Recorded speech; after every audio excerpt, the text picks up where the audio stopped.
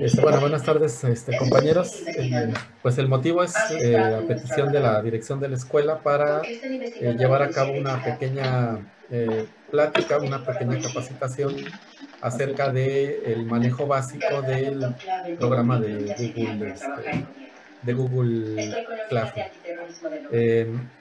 son cuestiones elementales, pero que en ocasiones algunas de ellas pueden pasar desapercibidas y creo que es importante retomar algunas de ellas. Yo sé que eh, muchos o todos ya manejan lo que es Classroom. Simplemente vamos a, detallar un poquito algunas, este, algunas cuestiones que pueden ser benéficas para, para todos. Entonces lo que voy a estar haciendo es compartiendo la pantalla de mi computadora para que ustedes puedan ir viendo el contenido. Si alguno de ustedes eh, quiere ir también integrándose o, quiere también ir abriendo su Classroom para ir haciendo algunos ejercicios, también es válido y pues sirve de que lo hacemos un poquito más, más dinámico.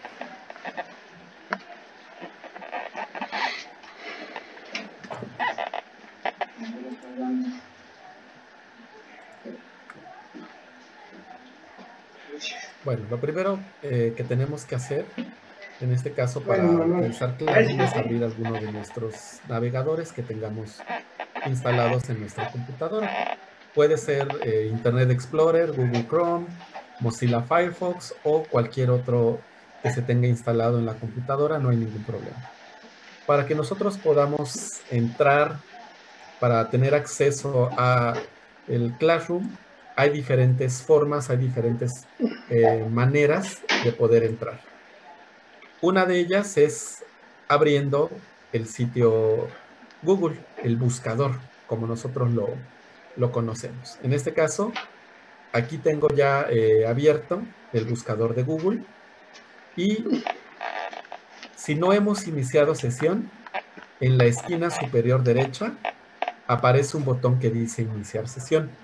Nos va a pedir a nosotros el correo y la contraseña para poder ingresar. El correo puede ser un correo con dominio Gmail o puede ser también eh, inclusive el correo institucional. Ahorita les voy a comentar algunas ventajas y desventajas de utilizar cada, cada uno de ellos. Entonces, esa es una forma.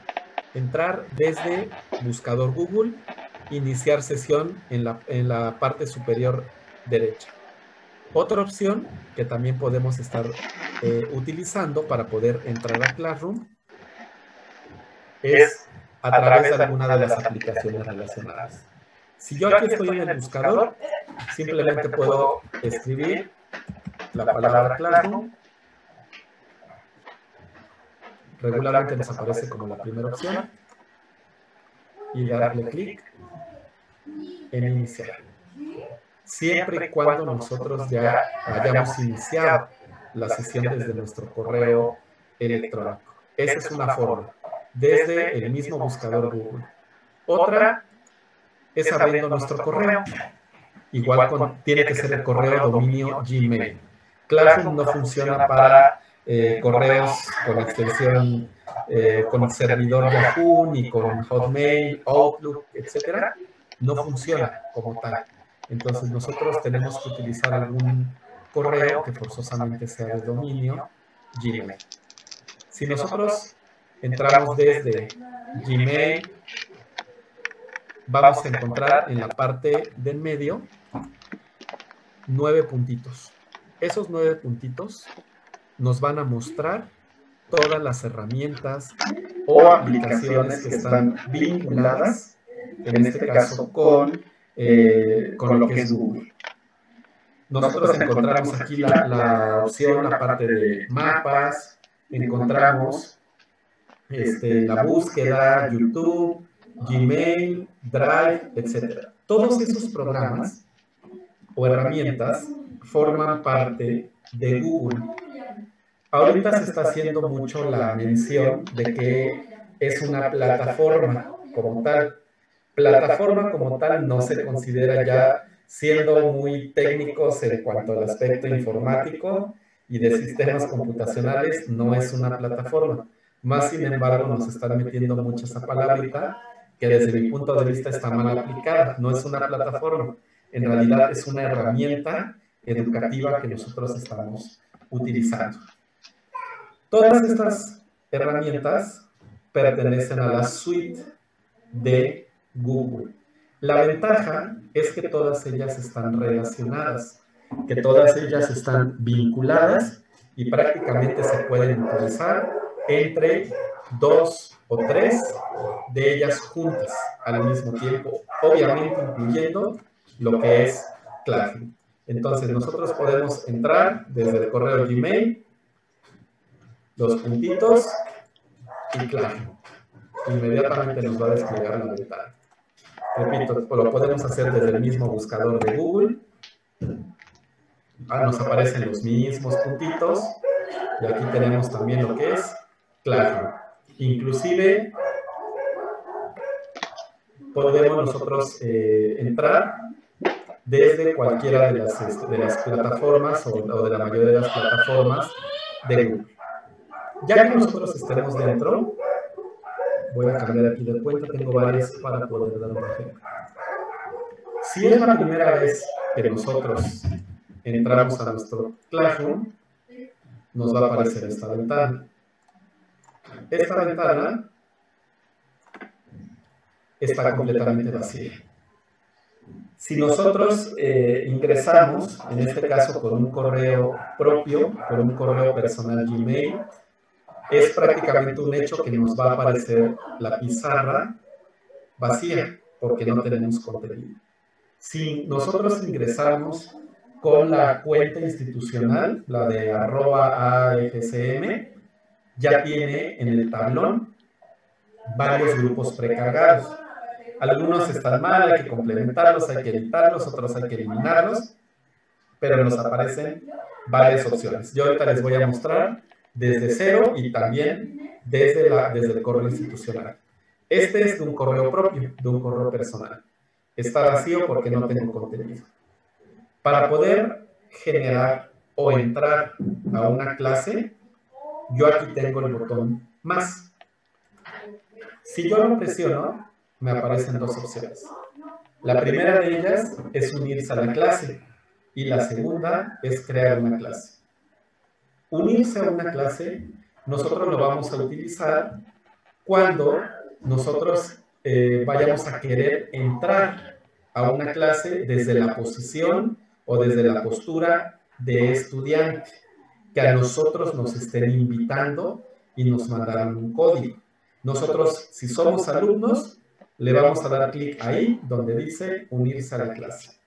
Si nosotros somos los profesores y queremos generar o crear una clase, presionamos la segunda opción. Aquí en unirse a la clase, si yo presiono la opción para que yo entre como estudiante, me va a aparecer mi cuenta de correo electrónico y en la parte central el código de la clase, que ya me lo tuvieron que haber proporcionado. Yo simplemente lo que voy a hacer es escribir el código y presionar el botón unirte. Al momento que yo haga esto, automáticamente me va a poner como alumno de esa clase. Cada clase tiene un código único. Nosotros podemos estar eh, tranquilos en el aspecto de que no nos vamos a meter a otra clase diferente o de que a lo mejor otro maestro en otra parte, en otro estado, en otro lugar, tiene el mismo código que mi clase. No, se genera de forma automática y cada código es único, es eh, irrepetible y no hay forma de que otra persona tenga exactamente el mismo código. Entonces esa es una, una cuestión para estar un poquito más seguros en el aspecto de que las claves son únicas. En este caso, como lo que queremos hacer es crear o generar una clase para mis alumnos, voy a elegir la opción número 2, crear una clase. Primer mensaje, si es una cuenta personal, me va a aparecer en pantalla. Me pregunta si uso Classroom en una escuela con alumnos. ¿Por qué? Porque se les está haciendo la invitación a las escuelas a registrarse a través de G Suite. En este caso es el digamos, el, este, la forma en la cual las escuelas se inscriben y poder utilizar Classroom única y eh, exclusivamente para aspectos educativos. Le repito, tiene ventajas y tiene desventajas. las cuentas institucionales, sí, y más adelante vamos a ver cuáles son esas ventajas y desventajas. Yo lo único que tengo que hacer es presionar la casilla que dice leí y comprendí la notificación y presionar el botón continuar. En este momento me aparece una ventana emergente donde me pregunta cuál es el nombre de la clase, la sección a la que pertenece, asunto y sala. Solamente la primera opción es obligatoria, llenar. Si yo requiero, necesito poner información adicional a mi clase, describirla, etcétera, yo puedo llenar los cuatro campos. De lo contrario, solamente llenando la primera opción y la segunda yo le recomendaría es más que suficiente. Aquí vamos a hacer eh, un ejemplo. Digamos que yo voy a eh, crear una clase para eh, matemáticas, por ejemplo. Nombre de la clase, matemáticas. Si yo solo dejo la palabra matemáticas, a lo mejor como yo doy clase a cinco grupos, va a ser un poco difícil el diferenciar cada una de mis clases. Por lo tanto, es recomendable ponerle el grupo como tal. A lo mejor es matemáticas, tercero A. De esa forma, yo ya estoy identificando que estoy creando o generando una clase para matemáticas de tercero Así como no es recomendable poner solo matemáticas, tampoco es recomendable poner solamente el grupo. Pero ¿por qué si yo nada más doy clase de matemáticas? ¿Por qué es importante ponerle el nombre de la asignatura? porque el nombre de la clase le va a aparecer de esa misma manera al alumno. Si yo nombro mi clase como tercero A, así le va a aparecer al alumno, tercero A. Entonces también pudiera ser eh, que de alguna manera lo confundiéramos un poco más. Entonces siempre es eh, un poco más recomendable colocar tanto el nombre de la materia como el grupo al que yo le voy a indicar. Sección secundaria. Asunto, lo puedo dejar en blanco, lo mismo que sale. No son tan relevantes como para poderlo colocar. Si alguien le quiere agregar, adelante. Entonces ya lo llené, nombre, sección. Ahora voy a presionar el botón crear. Si se dan cuenta aquí el botón dice creando y aparecen unos puntos suspensivos.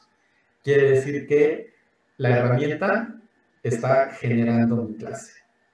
Dependiendo de la velocidad del Internet, un poquito de la capacidad de nuestra computadora, pues puede ser un poco más rápido o puede ser un poco más lento. Ya mi clase ahorita está creada. Ah, lo puedo ver, matemáticas tercero A, secundaria, que es la sección, y mi código de la clase. Y nosotros podemos observar también una imagen de fondo. Esto que nosotros estamos viendo en pantalla, en cuanto a, Google Classroom, se le conoce como tablón. El tablón, digamos que es como la pantalla principal de nuestra clase, a través de la cual nosotros vamos a publicar anuncios, a través de la cual nosotros vamos a asignar tareas, trabajos, a través de la cual nosotros vamos a ver qué personas están dentro de nuestra clase así como las calificaciones o puntajes obtenidos por cada uno de ellos.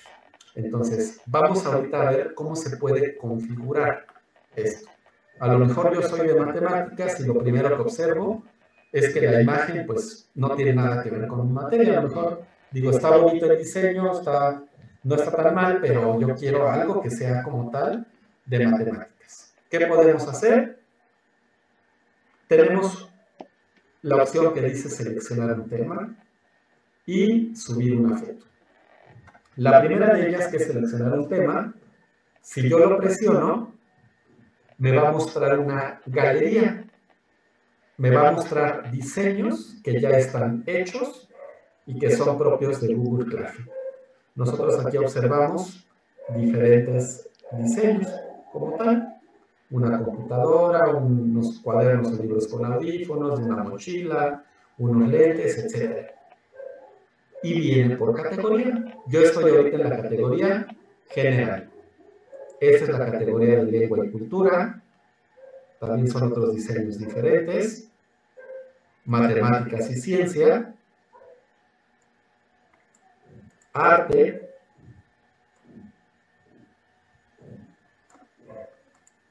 Deportes. Y la categoría que se llama otra. Yo simplemente voy a ver cuál es la que más se adapta o la que más tiene relación con mi asignatura. En este caso, a lo mejor yo quiero que mi portada sea esta. ¿Por qué? Porque tiene, en este caso, este, eh, tiene un compás, una escuadra, una regla, y yo, como voy a ver este, geometría, a lo mejor me interesa esa, esa portada. La selecciono y presiono el botón seleccionar el tema de la clase. Lo que va a hacer el programa es automáticamente cambiar. Y ya no me muestra la imagen que tenía anteriormente, sino la que se relaciona un poquito más con mi materia. Si más adelante la quiero cambiar, también lo puedo hacer. Presiono seleccionar tema y ahora a lo mejor me interesa este diseño de la calculadora y le doy seleccionar tema automáticamente se va a colocar. Eso digamos que nada más es la, la presentación como tal de nuestro tablón o de nuestra clase. Otra opción, a lo mejor a mí no me gustó ninguno de estos y digo, no, no me parece, este, eh, no, no requiero ninguno de ellos, no me gusta, etc. Yo puedo colocar una imagen o una foto que yo tenga descargada en mi computadora. Simplemente presiono la opción subir una foto. Cuando yo presiono subir una foto, me aparece esa ventana emergente. Dice, arrastra una foto aquí o selecciona una foto de tu equipo. Yo ya la tengo descargada a lo mejor y quiero una imagen que tengo descargada. Voy a simplemente a buscar en dónde está la carpeta y yo quiero a lo mejor alguna imagen que descargué porque creo que se ve bien, porque me gustó más, la selecciono, presiono abrir y simplemente ajusto mi imagen. Aquí eh, algunas imágenes eh, no nos va a dejar ponerlas completas porque son muy grandes. Si se dan cuenta, el recuadro no abarca toda mi imagen, abarca eh, un poquito más de la mitad. Eso es porque el tamaño no, este, no alcanza a apreciar, a, a, completar como tal. Ya sería cuestión de buscar una imagen que les agrade y que más o menos se, se adapte a la pantalla que ustedes quieren. Digamos que yo no me interesa que salgan las plumas, pero me interesa que salga esto. Presiono seleccionar y se va a colocar la imagen que yo le acabo de indicar. Entonces ya tengo el nombre de mi materia, la sección, la imagen que voy a ocupar. Y aquí tenemos el código de la clase. Le repito, el código de la clase es único, no, es, eh, no se puede repetir, no es idéntico a ningún otro, sino que cada clase, eh, la suite de Google automáticamente genera un código propio. Entonces, este es nuestro código. Si yo quiero invitar a mis alumnos a que formen parte de mi clase, yo lo puedo hacer brindándoles este código. Lo puedo copiar, puedo abrir mi correo electrónico y mandarles un mensaje a cada uno de ellos indicándoles el código de la clase. Ellos lo único que tienen que hacer es si están en su, ya dentro de su Google Classroom, es presionar el botón unirse a la clase, escriben el código y automáticamente los va a agregar. Esa es una opción para poder invitar a mis alumnos, proporcionándoles el código. Otra opción, que tal vez es un poquito más, eh, no complicada, pero sí es más laboriosa, es escribiendo los correos de mis alumnos. Me voy a ir a la pestaña que dice personas. En la pestaña que dice personas, me aparecen todos los integrantes de mi clase. En este caso, en la categoría de profesores, que pueden publicar, pueden revisar, recibir los trabajos, y la cuestión de alumnos. En profesores puede haber uno o más profesores, dependiendo como yo lo decida. Regularmente nos, estamos una sola persona frente al grupo y en clase, entonces puede que sea nada más un solo profesor. Si yo necesito el apoyo de alguien más o comparto el grupo con otro maestro, simplemente presiono el botón que dice invitar a otros profesores.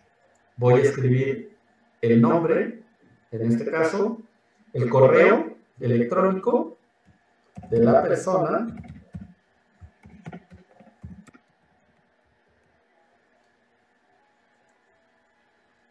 y le voy a presionar invitar.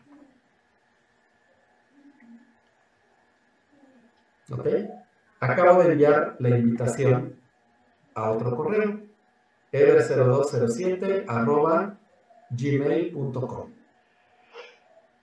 Ese correo le va a llegar a esa persona a su bandeja de entrada. Le va a llegar la invitación, ahorita les voy a mostrar, de forma directa.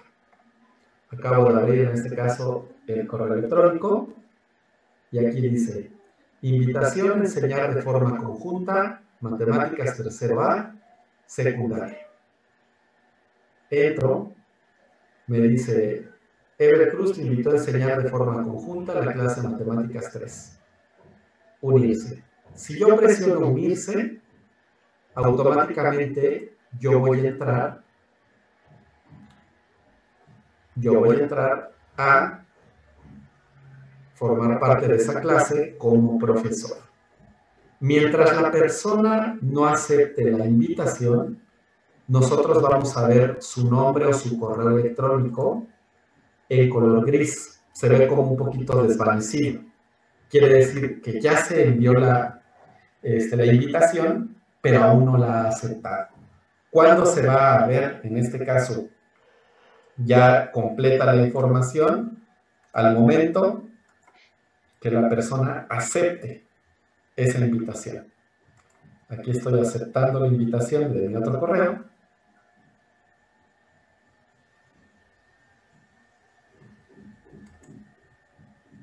¿Y qué sucede? Como ya se aceptó esa invitación, ya me aparece su imagen, me aparece su nombre y ya no está ensombreado. Quiere decir que ya forma parte de Classroom, como tal, de la invitación que yo le acabo de hacer. Lo mismo sucede con los alumnos. Presiono el botón de más y al momento que yo presione el botón de más, yo puedo copiar la invitación de Classroom y mandársela por correo o escribir, como le hicimos hace un momento el profesor, el mismo correo para que una persona pueda formar parte de nuestra, nuestro salón, nuestra clase.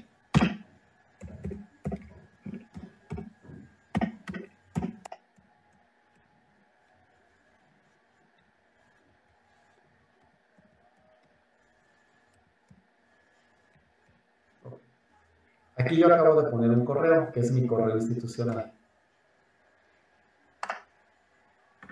Al momento que yo mando la invitación, se da cuenta que me apareció un recuadro rojo. Ese recuadro rojo dice, no se puede invitar a un alumno de este dominio. Es decir, el dominio es arroba aefcm.gov.mx. ¿Por qué no puedo? Porque desde una cuenta privada personal no puedo agregar a alguien con un correo institucional. No puedo agregar a nadie con el dominio AEFCM. Me lo rechaza de forma automática.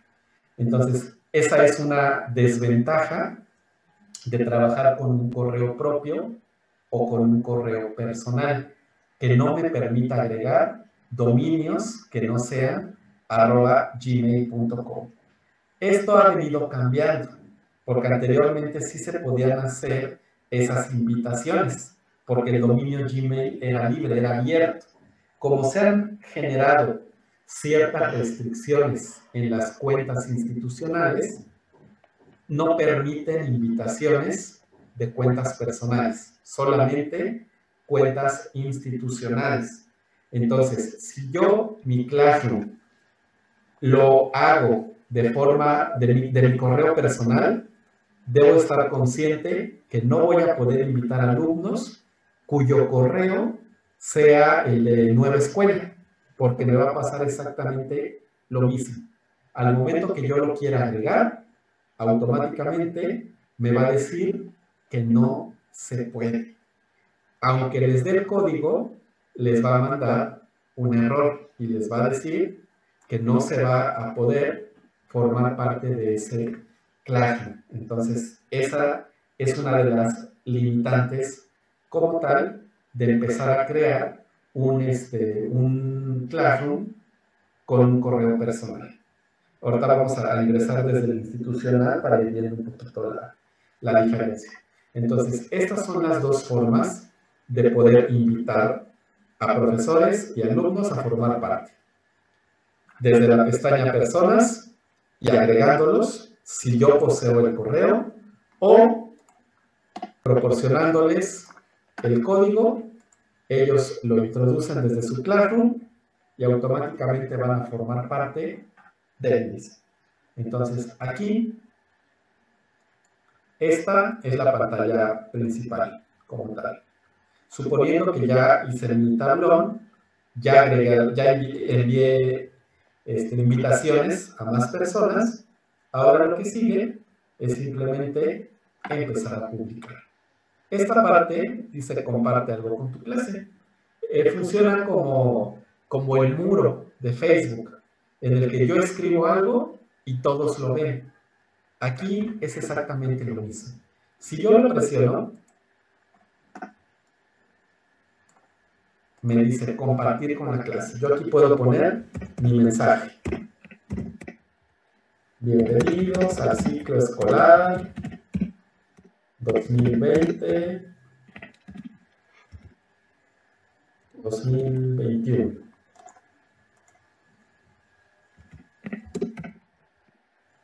Ya puedo poner mucha más información acá. Al momento que yo publico, aquí me, dice a quién quiero publicarse. En este caso, a qué grupo y a quién en particular.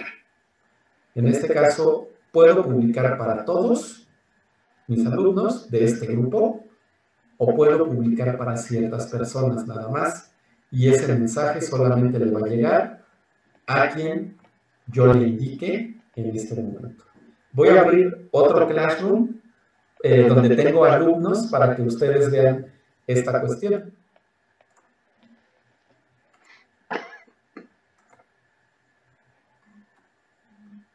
Otra de las ventajas de, de Google es que me permite tener diferentes sesiones abiertas al mismo tiempo. Se da cuenta que yo aquí tengo tres Classroom abiertos. Son tres correos diferentes, los cuales ahorita estoy, este, estoy trabajando. Ejemplo, este es mi Classroom institucional. Yo creé una, dos, tres, cuatro, cinco y seis clases. ¿Por qué? Porque tecnología trabajamos por bloques. Primero A, B y C, otro bloque de primero D y E, otro bloque de segundo A, B, C, otro bloque de segundo D, E y lo mismo con tercero. Entonces yo generé o inventé estas cuatro clases. Estas clases, yo aquí las dejé de ejemplo. Al momento que yo abrí mi correo institucional, y estoy seguro que, les pasó a todos, vieron varias clases que decían, cámbiale el nombre. Aquí, por ejemplo, dice, cámbiale el nombre, secundaria primero B, me dice que es del ciclo escolar 2019-2020 y la clase. Y me aparece, si yo me voy a donde dice personas, me aparece con los alumnos ya precargados. Todos estos alumnos son cuentas institucionales de nueva escuela. Todos estos. Entonces aquí yo estoy en ese grupo. Cambia el nombre, secundaria primera B. Pero a mí no me sirve. No me sirve esa clase. ¿Por qué? Por la cuestión que les comentaba hace rato. Nosotros en tecnología damos bloques. Entonces, yo no le doy a todo primero B. Y esta lista que yo observo es de primero B. Entonces a mí no me sirve en lo absoluto. Por eso yo no, eh, no le hice nada ni trabajé con esta clase porque la generó el sistema automáticamente y a mí no me sirve. Más adelante les voy a decir cómo eliminar clases. Otro ejemplo. Me apareció que yo, eh, me apareció la clase de artes visuales del ciclo escolar 2020-2021. Entonces aquí me aparece la clase de artes visuales. Si yo voy en personas, está el profesor Nicolás, que no da artes visuales. Está la maestra Verónica, que es la, maestra que da artes visuales. Y aparezco yo.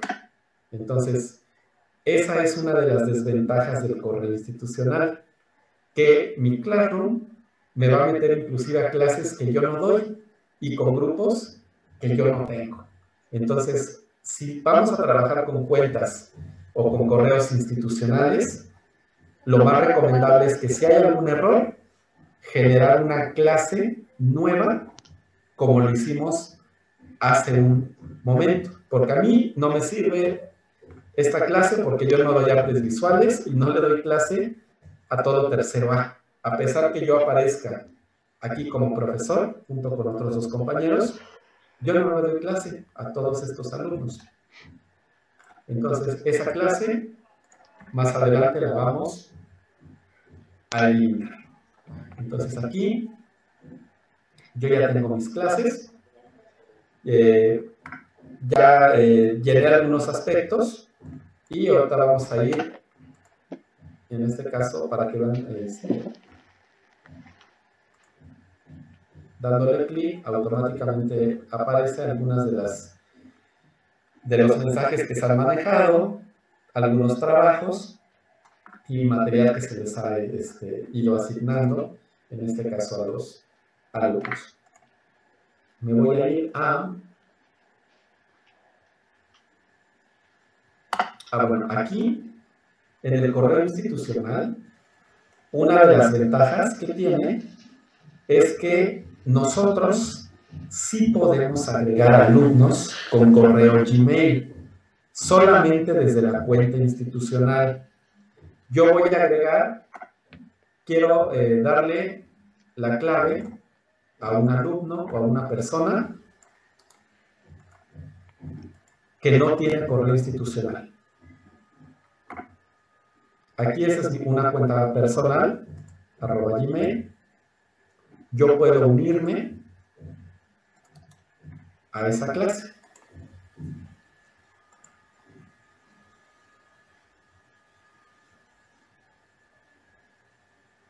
Aquí me aparece uniéndome. ¿Y qué sucedió? Me permitió el ingreso a esa clase, a pesar de que mi, mi correo, si se dan cuenta, no es institucional. Mi correo es Gmail pero la invitación me la mandaron desde un institucional. Entonces, esa es la ventaja del correo institucional. Lo que yo me he dado cuenta de forma personal es que solamente funciona en el dominio AEFCM. Hay cuentas institucionales que están manejando otros estados que no permiten agregar Gmail. Por ejemplo, yo en, en la escuela que estoy en Morelos, tengo otra cuenta institucional que es arroba escuela y esa sí no me deja entrar, no me deja agregar alumnos externos, porque es un candado que le pusieron a, ese, a esa cuenta o ese correo, que no permitir que, que alumnos externos o con otro dominio les permitan entrar. Aquí nosotros tenemos esa ventaja desde el correo institucional, que podemos invitar tanto alumnos que tengan correo de nueva escuela, como alumnos que también en este caso tengan dominio o correo personal. Entonces la invitación les va a llegar a ambos si es que nosotros utilizamos nuestro correo o nuestra, o nuestra cuenta institucional. Entonces yo aquí ya estoy como alumno de esta clase.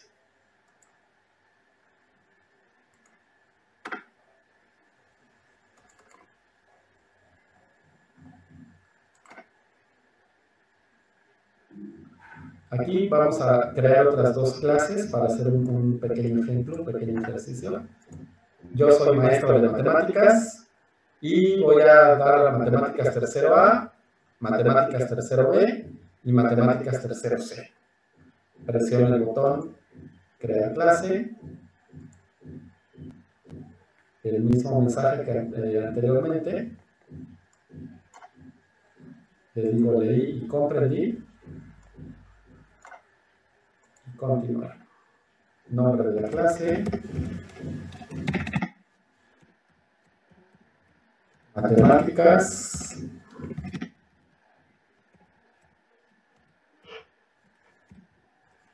Para tercero de sección secundaria. Le puedo poner el ciclo escolar si es que yo así lo deseo. Y crear se está generando esta clase.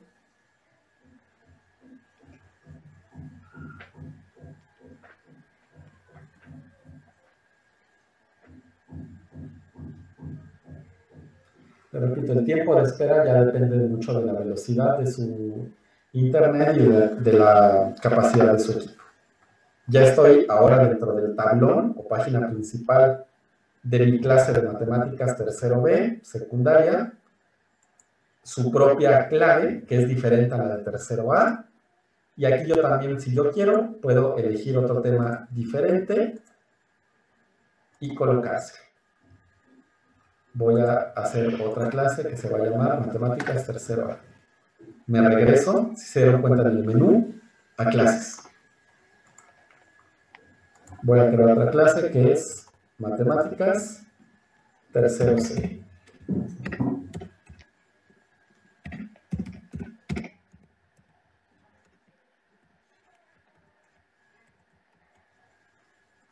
sección secundaria y presiono el botón crear.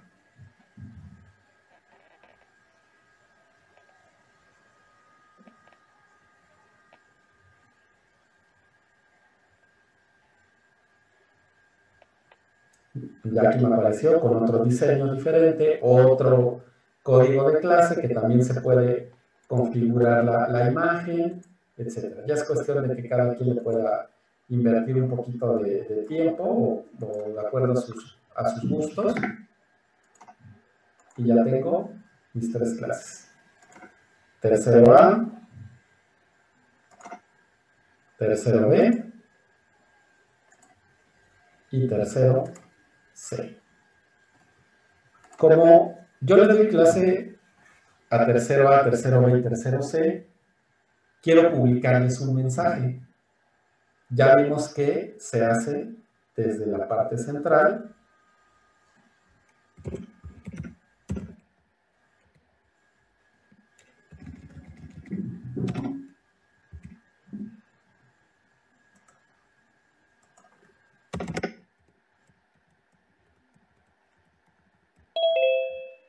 Ejemplo, bienvenidos a la clase de matemáticas y ahí puedo colocar más información. Como yo le doy a estos tres grupos, sería un poquito más desgastante que yo les ponga el mismo mensaje a los tres grupos, que le vuelva a escribir, porque a lo mejor es un mensaje largo, indicaciones largas, les doy la bienvenida, etc. Entonces, aquí yo puedo optar por decirle a Classroom que lo publique solo para tercero A o que lo publique a los tres grupos al mismo tiempo. ¿Cómo hacerlo? Aquí donde dice para, está palomeado tercero A. Quiere decir que si yo nada más habilito tercero A y lo publico, solamente va a quedar en tercero A. Aquí está el mensaje. Bienvenidos a la clase de matemáticas. Si yo me paso a tercero B, no hay nada. Si me paso a tercero C, tampoco. Entonces, ¿qué puedo hacer para publicar al mismo tiempo? Es seleccionar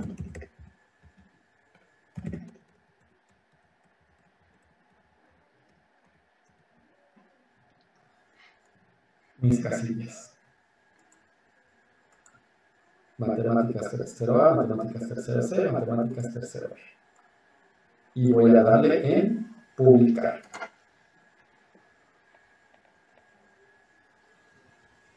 ¿Qué sucede? Ese mismo mensaje está en mis tres grupos. Tercero A, tercero B y tercero C. Entonces aquí podemos aprovechar y eh, si estoy dando el mismo mensaje, las mismas instrucciones, para no tener que hacerlo tres, cuatro, cinco veces en grupos distintos, yo puedo aprovechar y publicarlo para todos exactamente al mismo tiempo. Entonces, eso es para publicar mensajes sencillos, para publicar mensajes simples. Otra cosa que se puede hacer es publicar los trabajos. Esto, la parte del tablón o principal, regularmente se usa para anuncios, para avisos. Si yo quiero decir, dejarle al alumno algún trabajo, alguna tarea, me voy a ir a la pestaña de acá arriba que dice trabajo en clase. Aquí me da, me dice, asigna tu trabajo a clase aquí, crea tareas y preguntas, usa, temas para organizar el trabajo, ordena los trabajos, etc. Y tenemos un botón que dice crear. Estas cinco cosas que me aparecen, seis, seis elementos, son para asignarles diferentes trabajos o tareas a los alumnos. Para indicarles que realicen alguna actividad y que posteriormente me. Yo aquí puedo crear tareas, tareas como cuestionario, preguntas, puedo asignarles material, puedo utilizar, reutilizar alguna publicación que ya se haya utilizado, se haya manejado con anterioridad. ¿Cuál es la diferencia entre estas? Tarea, si yo presiono tarea, me va a pedir dos cosas. Título e instrucciones. Obligatorio solamente es el título. Las instrucciones lo manejan como opcional. Sin embargo, es recomendable poner instrucciones porque de repente el alumno no entiende bien qué es lo que tiene que hacer. Por ejemplo, eh, es, eh, yo no conozco a mis alumnos, y eh, me gustaría conocerlos un poquito más y les voy a pedir que realicen una autobiografía donde me cuenten datos personales y donde también me cuenten cómo, eh, cómo han vivido la cuestión de la pandemia, si les ha afectado o si no. Y a lo mejor también me interesa saber con qué recursos cuenta. Si tienen celular, si tienen tablet, si tienen computadora. Entonces yo como título de esa tarea le voy a poner autobiografía. ¿Ok? Yo ahorita ya puedo publicar ese trabajo, pero ¿qué sucede? Si yo no le pongo instrucciones, el alumno va a decir, ah, bueno, tengo que hacer una autobiografía de cuántos eh, renglones, qué tengo que incluir en la autobiografía, es en mi cuaderno, es a computadora, es a través de una presentación de PowerPoint, cómo la tengo que entregar. Entonces, por eso es importante describir el trabajo, para que no haya duda con ellos. Yo aquí le puedo poner instrucciones. Elabora una autobiografía en la cual vas a colocar los siguientes aspectos. Número uno, tu nombre completo. se salió.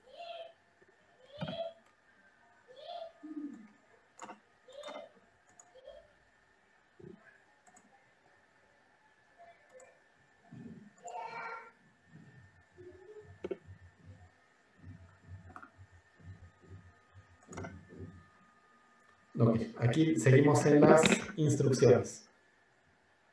Yo aquí le estoy dando las instrucciones. Elabora una autobiografía con tus datos personales, trata de ser lo más claro posible. El objetivo de la autobiografía es eh, para conocer un poco más eh, de, tu entorno, poder familiarizarme contigo, etc.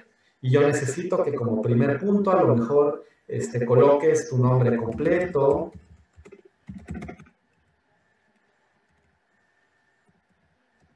Punto número dos, a lo mejor me interesa conocer este, eh, tus materias favoritas y por qué. A lo mejor me interesa conocer qué, este, dificultades, con qué materias tienes más dificultades, cómo has vivido la, la situación de la pandemia, etcétera, etcétera. Entonces aquí, entre más, eh, entre más coloquemos más datos en la, tarea de nuestros alumnos, vamos a lograr que el alumno entregue los trabajos como nosotros se los estamos pidiendo. Entonces yo digamos que ya terminé de completar las instrucciones para ese trabajo. Me voy al lado derecho. El lado derecho me dice para a quién quiero asignarle ese trabajo. Solamente a matemáticas de tercero A a matemáticas de tercero C, a matemáticas de tercero B, o a los tres juntos. Como les doy, como me interesa conocer a los tres grupos, yo le voy a decir que los publique para los tres. Abajo dice puntos. Los puntos, en este caso, es la calificación máxima que yo le voy a otorgar a ese trabajo. De forma predeterminada, por default aparecen 100.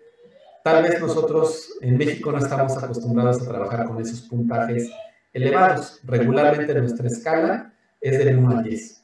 Entonces yo le puedo poner que ese trabajo valga un máximo de 10 puntos o el puntaje que yo quiera. Aquí abajo dice fecha de entrega. Si yo lo dejo en blanco, no hay límite. El alumno puede entregar ese trabajo ahorita que lo termine de publicar, mañana, pasado, dentro de un mes, dentro de tres, dentro de un año. Y no va a haber ningún problema. Aquí nosotros, eh, si decidimos lo contrario, podemos indicar al, alumno cuándo tiene como fecha máxima para poder entregar ese trabajo. Aquí eh, muchos, eh, muchos le colocamos fechas porque pues es, alguna, es de alguna manera invitar al alumno a que no se quede estancado, a que no le entregue fuera de tiempo, sino nosotros asignarle pues un tiempo considerable. A lo mejor esta tarea yo la estoy publicando hoy, 18 de septiembre, y le voy a dar al alumno el fin de semana, lunes y martes, para que haga la autobiografía. Entonces yo aquí lo presiono y me aparece un calendario. Yo necesito que ese trabajo el alumno me lo entregue a más tardar el día martes 23 de septiembre. Entonces aquí voy a seleccionar 23 de septiembre y la hora. ¿Hasta qué hora yo le estoy dando al alumno para que me pueda entregar ese trabajo? Yo a lo mejor le estoy diciendo que eh, tiene como máximo a las 8 de la noche para poder entregar el trabajo del día 23 de septiembre. ¿ok? Ya tengo para quién va publicado, el valor que le estoy asignando, la fecha y hora de entrega y el tema. Aquí a veces no le damos mucha importancia. Sin embargo, a la larga sí nos va a servir un poquito. Tema es eh, la clasificación que yo le voy a dar a mis trabajos o tareas que estoy estableciendo. ¿Qué puedo colocar en tema? Puedo poner, a lo mejor este trabajo es de inducción y yo le puedo poner aquí el tema, trabajo de inducción. A lo mejor es un trabajo de la unidad o bloque 1, le puedo poner unidad o bloque 1. ¿Para qué me va a servir eso de tema? Porque cuando después de que yo deje 10, 15, 20, 30 trabajos, el programa, la aplicación Classroom, automáticamente me va a separar los del bloque 1, a lo mejor de los del bloque 2 o de la unidad 1, de, o por mes lo puedo hacer, como ustedes gusten, pero siempre es recomendable tenerlo organizado por temas. No dejarlo así nada más sin tema, porque se me van a acumular todos y cada uno de estos trabajos. Eh, y después va a ser un poco difícil el poder saber de qué tema tratar. Entonces aquí le podemos poner el tema que se desee. Presiono asignar. Aquí me aparece un botón que dice asignar.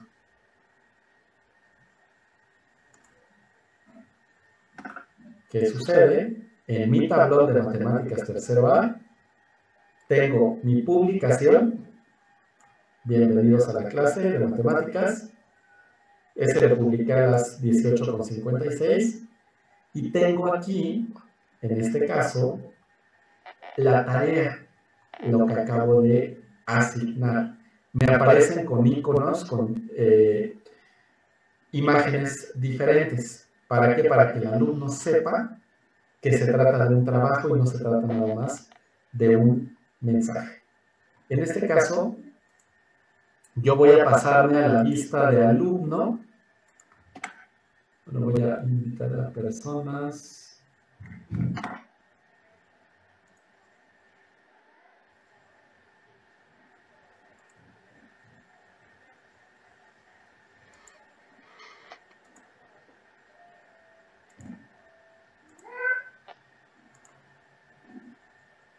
Voy a utilizar el mismo correo para que vean desde la lista del alumno y desde la lista del docente. Voy a introducir el código.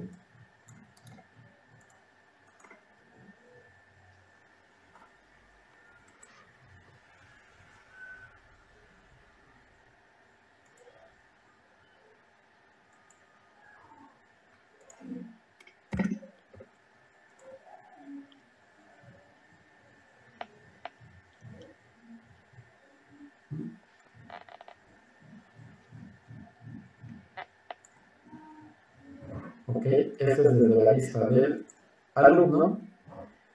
Aquí la diferencia es que al alumno le van a llegar, si es que nosotros así se lo indicamos, un correo por cada acción que yo como profesor publique. En este caso, yo aquí estoy en Gmail, en el correo del alumno. Aquí me apareció un correo donde dice que yo publiqué un anuncio. Bienvenidos a la clase de matemáticas. Y recibí otro correo donde el alumno sabe que acabo de publicar una nueva asignación o tarea, la fecha de entrega y las características que yo le acabo de pedir. Entonces, esa es una de las eh, ventajas como tal de, eh, de utilizar lo que es claro, que le va a llegar un mensaje por cada cosa que yo publique, le va a llegar un mensaje por cada tarea que yo deje al alumno. A lo mejor no está viendo Classroom, pero sí es más eh, común que abra su correo. Entonces él va a ver ahí todas las notificaciones de todas las acciones que se han venido realizando. Entonces él va a ir viendo todo lo que se va a ir este, llevando a cabo.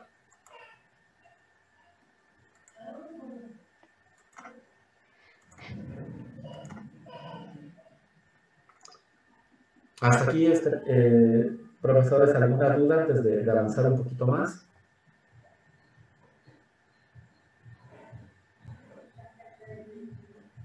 Maestro, una pregunta. Y maestra. Este, así como le llegan los correos a los alumnos, a nosotros nos llegan los correos de los trabajos entregados, ¿verdad? Correcto, maestra. De la misma forma, si un alumno pregunta algo, publica algo, este, o si eh, entrega algo, también nos llega un correo electrónico. Y entonces nuestra bandeja se llena infinitamente de mensajes. Exactamente, eso es parte de las desventajas. Se puede configurar, ahorita les voy a mostrar cómo configurar para que nosotros podamos deshabilitar a lo mejor el, que nos lleguen esos mensajes. A lo mejor puede, puede este, ser eh, eh, digamos, de ayuda para el alumno, pero a lo mejor para nosotros no. Entonces, este, vamos ahorita a ver cómo configurar esa bandeja de entrada, porque si efectivamente nos llenamos como tal de, correos. Miren, ahorita yo voy a abrir el, este, un correo que tengo ya grupos.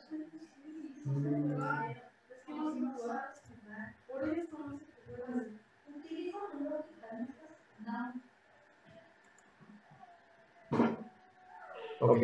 Por ejemplo, aquí ya me están llegando los, los, correos de todo lo que están publicando alumnos de mis grupos, no nada más de uno, sino de los seis que tengo, que tengo este, publicados. Aquí me, aparece, por ejemplo, este, eh, que una persona ha comentado una publicación que yo hice de material, este, eh, comentarios de, mensajes que yo he puesto, todo me aparece absolutamente acá. Entonces, si pudiera ser un poquito este, eh, tedioso el hecho de que me estén llegando tantos mensajes y sabiendo principalmente que tengo tantos alumnos, pero ahorita lo, checamos en la, en la, este, la cuestión de la configuración.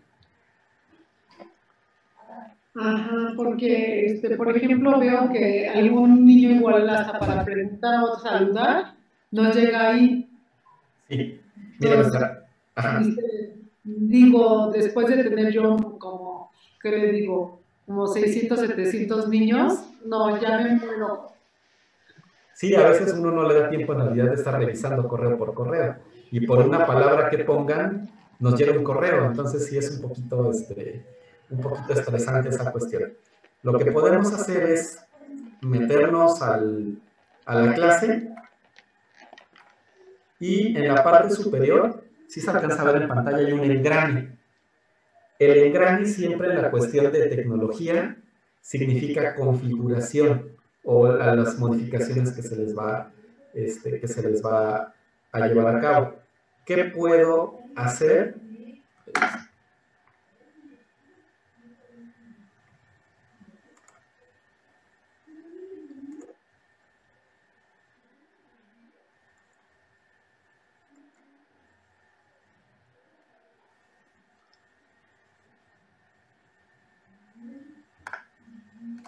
Aquí, por ejemplo, en la configuración, lo que yo puedo hacer es cambiar el nombre de la clase, los títulos, puedo eh, cambiar los códigos, no le puedo establecer un, un, código personal, no le puedo poner como clave mate 3, sino que el sistema automáticamente lo va a generar.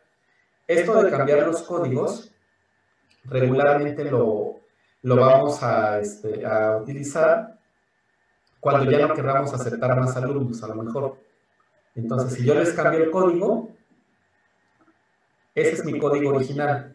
Si yo escojo restablecer, me cambió el código. Y si el alumno tenía el código anterior, ya no va a poder entrar. Eso es como para poner, digamos, una especie de, de bloqueo si yo requiero, en este caso, que ya no... Eh, que ya no eh, puedan entrar más alumnos. Otra cosa que se puede configurar desde acá es los permisos, digamos así, con respecto a los alumnos, qué es lo que pueden hacer y qué es lo que no pueden hacer. Aquí, de forma predeterminada, aparece que los alumnos pueden comentar y publicar. Tal vez yo solamente eh, no quiero que publiquen, pero quiero que comenten, elijo la segunda opción. O de que solo el profesor o los profesores puedan, en este caso, eh, puedan comentar, es en la parte de abajo. Regularmente tenemos abierta la opción de que, de que el alumno, como los profesores, puedan estar comentando. Aquí eh, las notificaciones que me, van a estar llegando, pero de forma eh, directa en cuanto al, al Classroom, que es, eh, ahí de preferencia no, no modificar, en este caso, este, la, no modificar la, la, cuestión de, este, de las notificaciones de forma este, predeterminada, sino dejarlo de esa, de esa este, manera como, como tal. Em, desde, la, desde, la, configuración de la cuenta, lo que nosotros eh, podemos hacer es, aparte de cambiar nuestro nombre, también lo que, lo que podemos hacer en este caso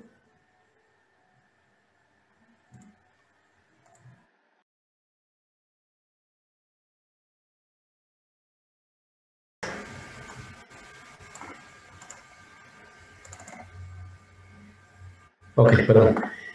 Este, bueno, estábamos eh, atendiendo a la pregunta de la maestra Patti de, este, de cómo hacer para que no, no saturar, digamos, mi correo de, este, electrónico, mi bandeja, y que no me esté llegando una notificación por cada, este, por cada cosa que los alumnos digan.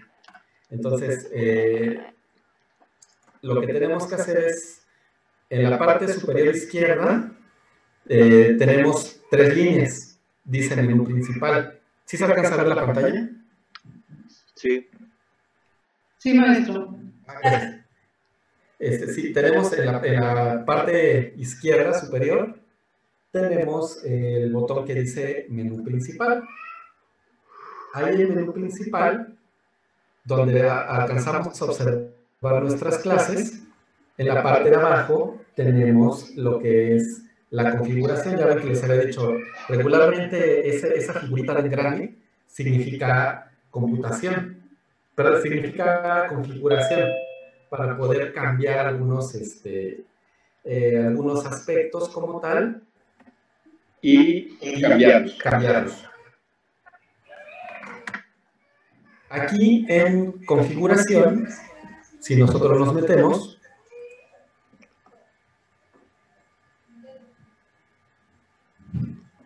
tenemos la opción que dice notificaciones por correo electrónico y tiene varios botones. En este caso, me aparece recibir notificaciones por correo electrónico de forma predeterminada o por default, todo está encendido. Entonces, me llegan correos por cada comentario que hacen en las publicaciones. Me llega correo por cada comentario en el que me mencionan. Me llega correo por cada comentario privado. Me llega correo por cada entrega fuera de plazo, este, eh, trabajos que se entregaron nuevamente, etcétera, etcétera. Yo aquí puedo indicarle cuándo quiero que me llegue un correo. A lo mejor no quiero que me llegue un correo por cada comentario. Nada más me interesa que me llegue un correo cada que entregaron un trabajo fuera de tiempo. Entonces dejo habilitada esa parte y solamente me va a llegar un correo electrónico cuando, en este caso, el alumno envíe un trabajo tarde. O puedo personalizarlo como yo desee. Si de plano no quiero recibir nada porque yo eh, prefiero meterme a Classroom y ver personalmente las actualizaciones, deshabilito esto deshabilitándolo, ya me voy a olvidar de que a mi bandeja de entrada me vayan a estar llegando notificaciones por cada cosa que van a publicar mis alumnos. Entonces ahí es una cuestión que pues nos puede servir si lo que deseamos, en este caso es no saturar, no saturar nuestro, este, nuestra bandeja de entrada. Entonces no sé si, quedó este, claro cómo hacerlo, si no repito la, este, procedimiento es menú principal, configuración, y aquí nos aparecen las opciones para poder recibir o no correos electrónicos. Deshabilitado, listo, ya no me llega absolutamente nada de notificaciones de mis clases. Nada más serían de las clases, ¿verdad, maestro? ¿Perdón, maestra? Nada más serían de las clases, ¿verdad? Sí, solamente serían de, de las clases. Aquí la configuración este, es general. Eh, si usted deshabilita, es de todas las clases que tenga. Si tiene 10 clases con esa cuenta de correo, se deshabilitan para las 10. No tiene que hacerlo uno por uno, sino se deshabilitan para todas. Ok, pero las notificaciones normales de mi, de otra, de, de otra, no de clases, sino de otra instrucción de otra persona, si me llegan. Sí, sí, sí, sí, ya, ya usted aquí personaliza digamos qué notificación quiere que le llegue y qué notificación no quiere que le llegue. Ah, ok. Bueno, entonces hasta ahorita ya este, supimos cómo crear este, clases, cómo publicar este, trabajos, cómo, eh, en este caso, eh, cómo eh, cambiar la apariencia de, nuestras clases. Aquí otra cosa importante en trabajo en clase, les decía, ya publicamos una tarea, es decir, una actividad para el alumno. Existe otra cuestión que dice tarea con cuestionario. La tarea con cuestionario nosotros la vamos a utilizar cuando eh, nosotros eh, deseemos a lo mejor hacer un, este, un examen en línea, una evaluación una encuesta. ¿Por qué? Porque con esta opción nos aparecen los formularios de Google, es decir, una de las herramientas que, que, constituyen o que forman parte de, nuestro, este, de nuestra Google Suite. Este eh, sí es un poquito más complejo, un poquito más complicado, entonces este, eh, este sí, sí, sí me gustaría tomarlo explicarlo un poco más adelante para no confundirlos ahorita, porque sí requiere cierto tiempo para poder explicar las opciones, las, las preguntas, este, las modificaciones, los links de, de, incrustar, etcétera. Ese, si, si me lo permiten, este, pudiéramos este, la próxima semana a lo mejor tener otra, otra reunión y únicamente basarme en los formularios de Google para aquellas personas que quieran aplicar una evaluación diagnóstica, un examen en línea, una encuesta, etcétera, etcétera. Aquí mismo en crear tenemos la opción que dice pregunta. Es por si yo quiero eh, establecer un cuestionamiento hacia mis alumnos que contesten alguna pregunta, en este caso en general, y que me llegue su respuesta directamente al claro. Puede ser para, le repito, esta puede ser para una encuesta sencilla o puede ser, en este caso, para una serie de preguntas, pero no tan, eh, no tan trabajadas, no, no, como un examen, sino nada más una pregunta como tal que me interesa que el alumno conteste de forma precisa y de, de una forma este, directa. Otra cosa que nosotros podemos hacer, en este caso es eh, la, la opción que dice material. La opción que dice material es por si nosotros deseamos eh, publicar al alumno algo que va a requerir para su clase. En el caso de, de computación, en, informática no tienen libros de texto, no, no, no nos llegan a nosotros este, libros de apoyo. Entonces, eh, en lo personal, yo les subo a ellos un material, un libro de tecnología para que ellos puedan complementar la información de la televisión y que lo tengan listo. Entonces, en esa parte de que dice material, yo les puedo incrustar, yo puedo eh, colocar un archivo de la extensión que sea. Puedo colocar una imagen, una presentación de PowerPoint, un archivo de Word, un documento PDF, un video, lo que yo quiera colocar. Por ejemplo, yo les coloco este, libro, eh, libro de apoyo. A lo mejor me interesa que todos mis alumnos tengan ese libro en forma digital. Le pongo aquí la descripción y aquí tenemos el botón que dice agregar y tiene un clic. Aquí me va a permitir agregar un archivo de Google Drive, es decir, que yo tenga guardado dentro de mi cuenta un vínculo, es decir, un enlace hacia una página, un archivo, es decir, un documento que yo tenga guardado en mi computadora o un video de YouTube. En este caso, como el libro ya yo lo tengo descargado en mi computadora, voy a elegir la opción que dice archivo. Me va a preguntar de dónde quiero sacar en este caso la información. Como lo tengo en mi computadora, voy a elegir la opción que dice subir. Aquí voy a buscar entre mis carpetas. Aquí está, libro tecnología, un documento PDF. Le doy a abrir.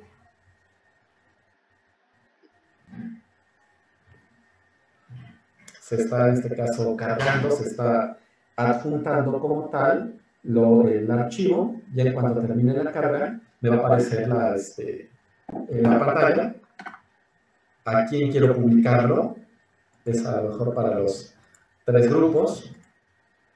¿Qué tema? Le puedo poner este libro digital y publicar. Al momento que yo estoy publicando, el alumno ya va ese material para poderlo descargar en su computadora, descargar en su tablet, descargar en su celular. Aquí, esta es la vista del alumno, tengo las dos cuentas abiertas. Aquí yo estoy como alumno en Matemáticas Tercero Entonces, aquí me aparece el libro de apoyo. Aquí me dice que se publicó a las 7.34 y me aparece el libro para que yo lo pueda visualizar o, en este caso, para que se pueda descargar o que se pueda, en este caso, imprimir. Yo ahí es donde voy a, estar, a decidir qué es lo que se va a hacer. El alumno, cada, cada alumno va a decidir si lo descarga, si lo guarda en, en su dispositivo, en qué carpeta, etc. Entonces también es una herramienta importante el hecho de poder adjuntar, en este caso, los, este, los, eh, cualquier archivo. Y repito, esta, esta cuestión de, publicar, puede, eh, podemos nosotros adjuntar cualquier cosa. Realmente cualquier cosa lo podemos estar adjuntando. Aquí les voy a mostrar un ejemplo de uno que ya está hecho. Por ejemplo, aquí tengo un grupo que es Informática Segundo I. Tengo mi mensaje. Tengo eh, mi tarea, que es mi actividad. Aquí me aparecen las instrucciones que yo di, el porcentaje, y me aparecen los alumnos que ya me entregaron los trabajos. Me aparece del lado izquierdo el nombre del alumno y el estatus, es decir, si ya me lo entregó o no me lo entregó. Me aparece cuántos se entregaron, por ejemplo aquí ocho alumnos se entregaron, siete asignadas y tres calificadas. Al momento de calificar, es importante esta cuestión. Por ejemplo, yo aquí voy a revisar una...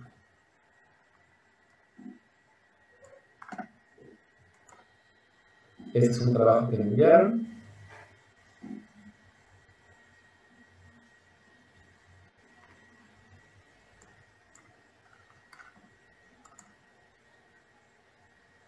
Yo lo puedo revisar.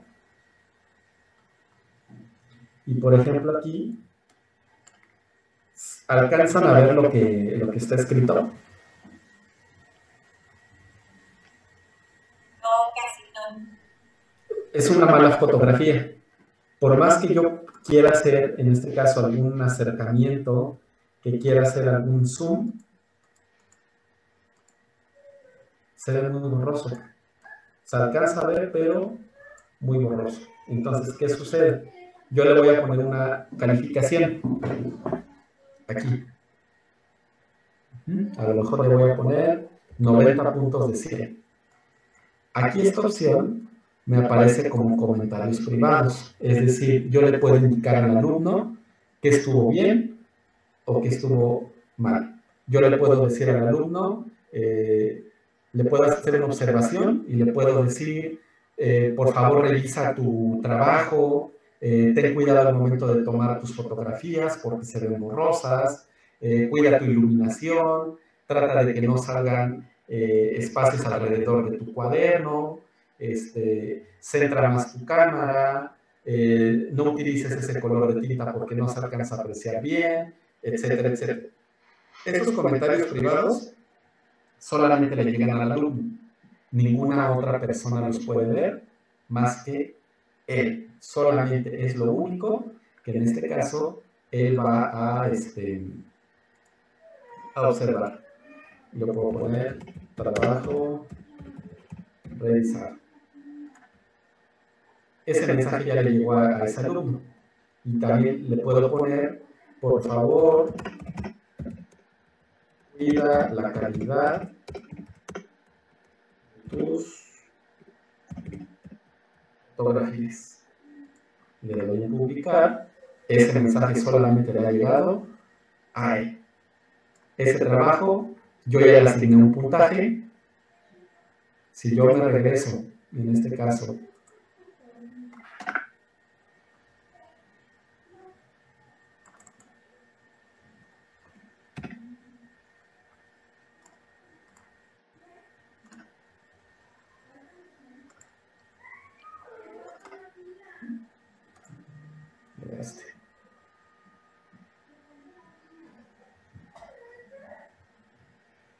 Aquí eh, le dije, ya, ya le mandó este, los mensajes privados. Aquí arriba me aparece su calificación, 90 de 100 puntos. Pero me aparece como borrador. Si me aparece la palabra borrador, es porque yo ya le asigné la calificación, pero el alumno todavía no la conoce. ¿Por qué? Porque yo tengo que presionar la opción que dice devolver. Es como devolver, es por ejemplo, como si eh, nosotros estuviéramos físicamente en el salón de clase. Nosotros cuando calificamos, nos llevan nuestro trabajo. Va el alumno y nos deja su cuaderno. ¿Qué hacemos nosotros? Revisamos que tenga la calidad, los requisitos que les pedimos y les asignamos una calificación.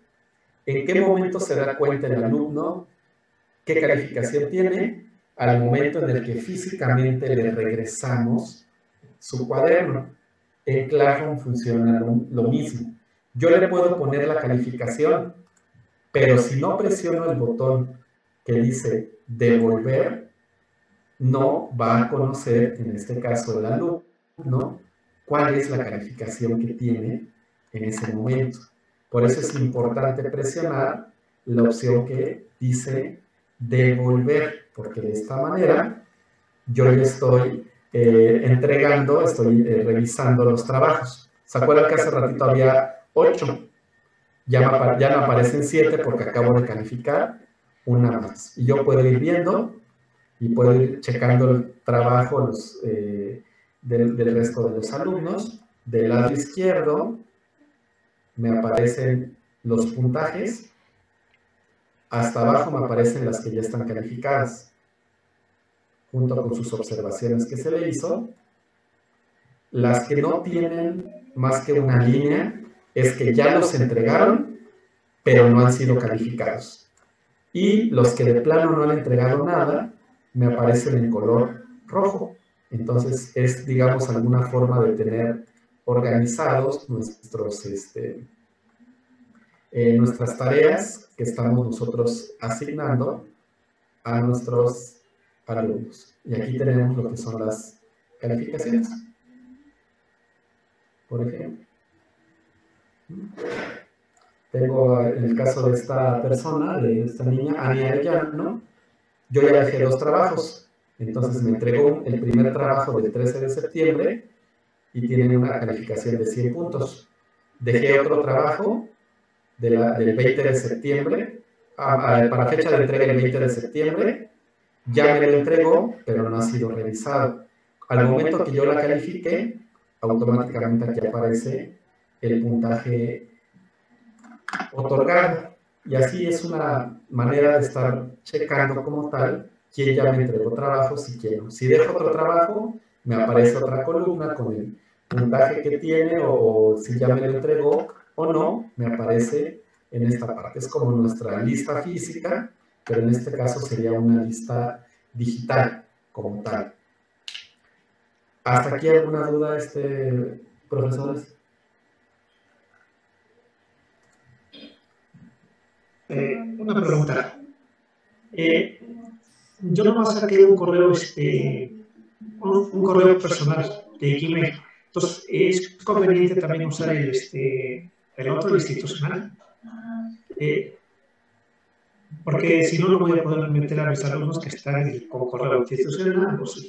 No, no es posible. Mira, ahorita vamos a hacer una, este, una prueba. Este, desde el correo, desde el, el correo, este, bueno, lo hicimos hace ratito, pero para que ya no, ya no quede duda. Este Classroom es de mi correo personal. Supongo que, este, que, que tienes uno igual, Eduardo, un Gmail. Sí, así es. Yo puedo, eh, tú puedes mandar el código a cualquiera de tus alumnos, el código está bien.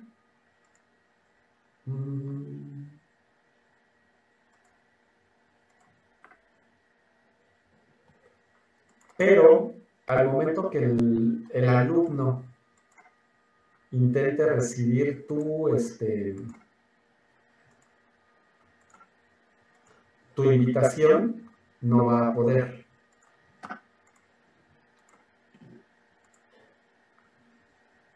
Voy a ingresar desde institucional.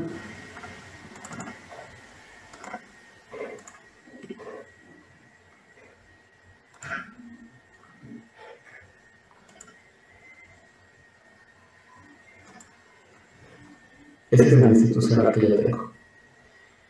Digamos que yo soy alumno, aquí está mi correo institucional y quiero entrar a la clase de ciencias. Le voy a dar en apuntarse a una clase.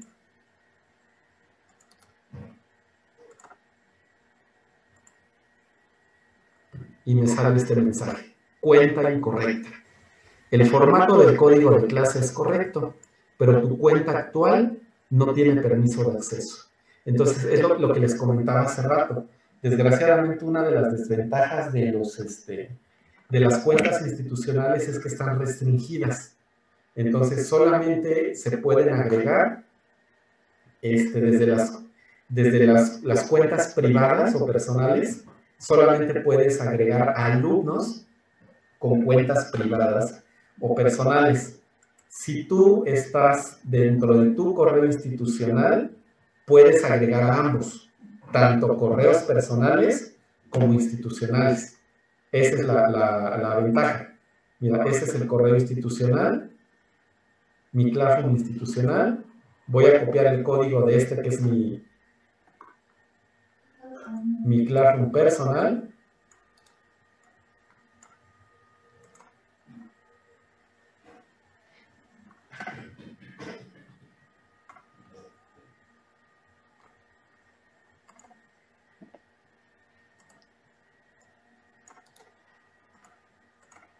del institucional,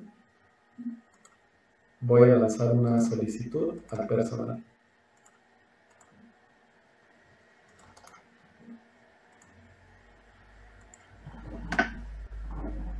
el dominio Gmail, y si me dejo entrar a informática, primero A, B y C. Y yo ya puedo estar aquí participando dentro del salón. Entonces, eh, si tienes posibilidad, pues si pudieras eh, de preferencia utilizar el institucional, porque te va a permitir agregar alumnos que tengan correos tanto personales como institucionales. Esa es la, la, la, la opinión o la sugerencia que te pudiera, este, que te pudiera dar. Este, este fin de semana lo hago, una vez empiezo a vaciar a todos para que ya tengan todos unidos. ¿Ya tienes este, eh, clases creadas en tu correo personal? Tengo, este, tengo clases, pero también estoy usando mi correo porque este, muchos niños no pueden ingresar porque tienen el institucional. Entonces voy a abrir un institucional y ahí voy a meter a todos o, este, o manejo los dos al mismo tiempo. Exacto. Sí, este, sí, pudieras quedarte con uno. Yo te recomiendo que te quedes con uno para que no te hagas bolas. Los alumnos que ya tienes en tu, en tu Classroom personal, pedirles eh, o, darles el código del, del Classroom institucional para que no manejes dos, porque sí va a ser muchísimo, este, muchísimo movimiento el, el, tener que meterte a, diferentes Classroom. Entonces yo te recomendaría que los que ya tienes, les des el nuevo código del institucional y ya con eso. Bueno, gracias. Por nada. Maestro, una pregunta. Sí, maestra. En la sección de calificaciones, si yo publico las calificaciones de mis alumnos, mis alumnos, todos mis alumnos tienen acceso a ver las calificaciones de sus compañeros? No. No, o sea, por ejemplo, que este, la pantalla que yo les mostré hace ratito. Ajá. Esta. Esta, si, si, este, si tienen acceso los, los demás. Sí, es decir, si este, no solamente Camila, que era la primera niña que tenía, este, ve solamente su calificación, no puede ver las calificaciones de todos sus compañeros. A ver, un segundito. Le voy a mostrar, ahora estoy en la vista de, este, de alumno con esa, con esa clase. Para este,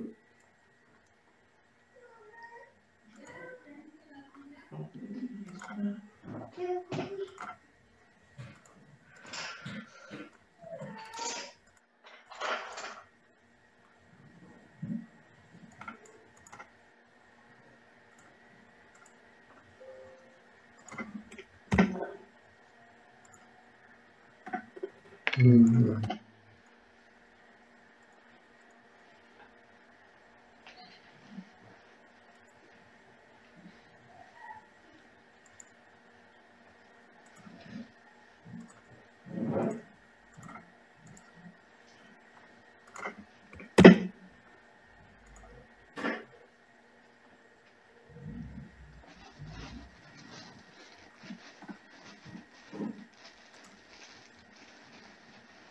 No, maestra. Ah, ok. No, mira, aquí esta, esta ventana que le estoy mostrando, yo soy el profesor de informática segundo I, soy el administrador, digamos. Entonces sí me permite ver las calificaciones de cada quien. Por ejemplo, aquí Camila, Ani Arellano, Eduardo Ayala, Erika Bastida, etcétera, etcétera. Yo aquí los veo.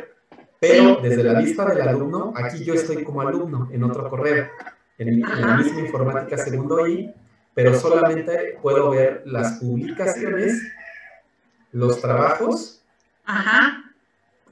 y las personas que forman parte del grupo. Ah, pero no, no, no, no, yo como alumno no puedo ver esa ventana con las calificaciones. Ah, ok. Solamente el profesor o los profesores que estén asignados. Ah, muy bien. Gracias, maestro. Por nada, maestra.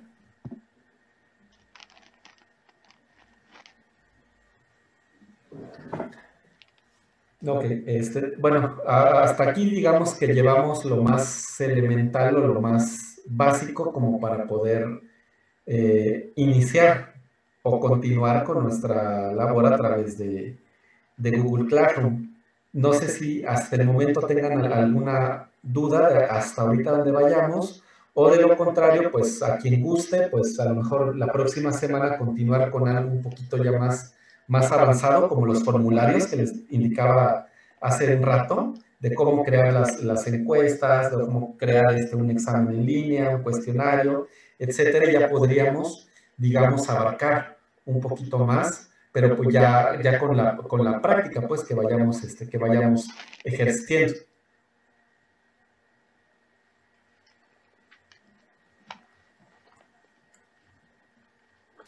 Sí, sí vale la pena una segunda sesión donde nos expliques los formularios principalmente.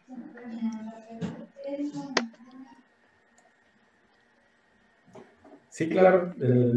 pues básicamente por la cuestión de tiempo, para no saturarlos también de tanta información, porque de repente si es información nueva, de repente no se asimila como tal el hecho de estar llenando, llenando, llenando, llenando, llenando. Entonces pudiéramos hacerlo en diferentes bloques. La próxima semana enfocarnos en, este, en formularios de Google, les repito, les puede servir para un examen en línea, inclusive se puede hasta para pasar lista algunas, este, eh, de alguna forma que el alumno que ingrese a Classroom pase lista de forma automática sin que yo tenga que sacar mi, mi hoja en blanco y decir, a ver, está este, Juan García, está este, Ani Arellano, está...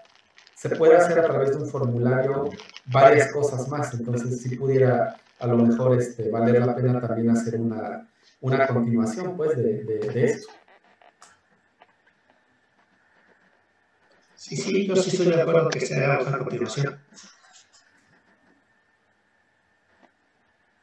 Pues sí, yo también, maestro. Yo también. Claro, sí, como está. Lo que sabemos a veces nos lo reforzamos y no lo sabemos. Sí, sí.